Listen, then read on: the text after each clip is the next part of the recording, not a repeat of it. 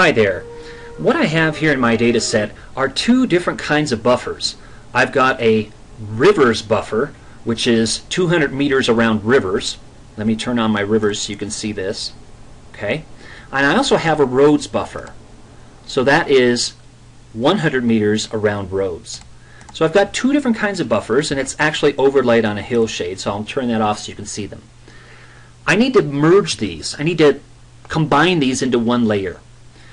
So I'm going to look for an intersect command or tool, and there it is, my intersect tool. Intersect allows me to com combine everywhere that's close to rivers and everywhere that's close to roads.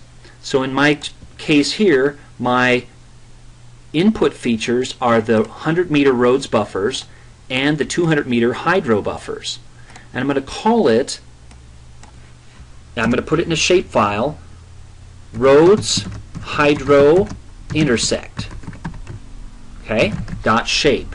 Notice that's going into the same folder where all my other data went. Now how does it do that?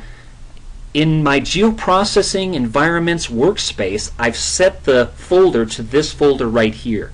That way I'm not creating data all over my computer and then it's difficult for me to remember where it all is stored. So make life easier for yourself and use that environments variable workspace and set it. Okay, great. I'm going to say OK here and it's going to run that intersect command for me and let's take a look at the results when it's done. When it's done, after this dialog at, at the bottom shows up, let's go ahead and actually just check on it look at results here. It's running the intersect command right now. So under geoprocessing results, I can actually see the progress.